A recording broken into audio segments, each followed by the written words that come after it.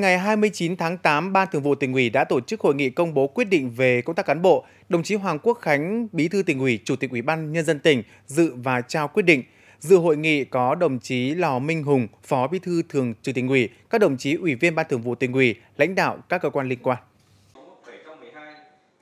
Tại hội nghị đã công bố quyết định số 975 ngày 1 tháng 6 năm 2024 về việc đồng chí Lê Hồng Long, Ủy viên Ban Thường vụ tỉnh ủy, trưởng ban tổ chức tỉnh ủy được nghỉ hưu để hưởng chế độ bảo hiểm xã hội từ ngày 1 tháng 9 năm 2024. Tại hội nghị cũng đã công bố quyết định số 1059 ngày 28 tháng 8 năm 2024 của Ban Thường vụ tỉnh ủy về việc tiếp nhận điều động đồng chí Nguyễn Đức Thành, tỉnh ủy viên, Giám đốc Sở Tài chính nhận công tác tại Ban Tổ chức tỉnh ủy, phân công bổ nhiệm giữ chức trưởng Ban Tổ chức tỉnh ủy từ ngày 1 tháng 9 năm 2024.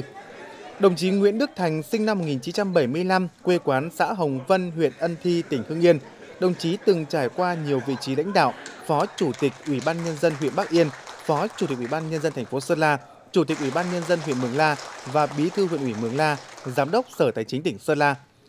Trao quyết định và phát biểu tại hội nghị, đồng chí Bí thư tỉnh ủy, Chủ tịch Ủy ban nhân dân tỉnh Hoàng Quốc Khánh ghi nhận và đánh giá cao những đóng góp cống hiến của đồng chí Lê Hồng Long trên từng cương vị công tác trong suốt 37 năm qua. Đồng chí luôn nêu cao tinh thần trách nhiệm, đoàn kết, phát huy tốt vai trò trách nhiệm của người cán bộ đảng viên, cán bộ lãnh đạo quản lý có nhiều công hiến cho sự nghiệp, xây dựng và phát triển Đảng.